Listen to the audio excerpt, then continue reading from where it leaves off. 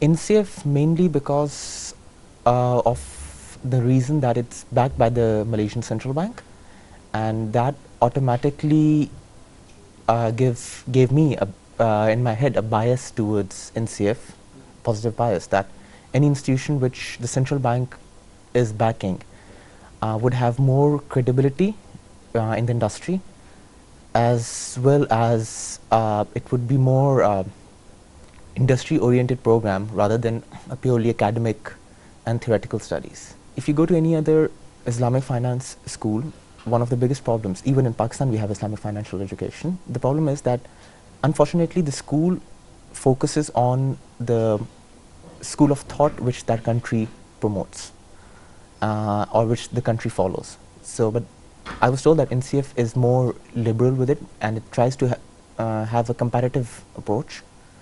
The INCEIF has been able to attract some of the best faculty members, some of the best brains in Islamic finance.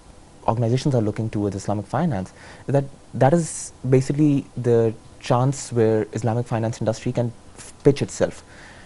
I personally feel that Islamic finance boils down to one single thing that is a financial system which is based on justice and, equa and uh, equality.